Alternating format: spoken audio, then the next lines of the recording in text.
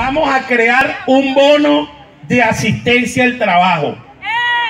Solamente se le va a pagar a los que asistan.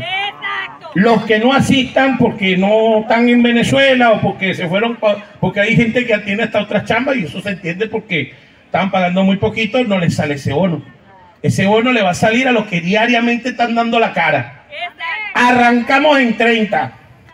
Vamos a arrancar en 30. Pero me comprometo que en 60 días lo vuelvo a ajustar. Sube el que le conté, sube el bono. Ese bono no se va a volver sal y agua. Si sube el verde, sube el bono. Ese bono se llama el bono Freddy Rodríguez, así mismo.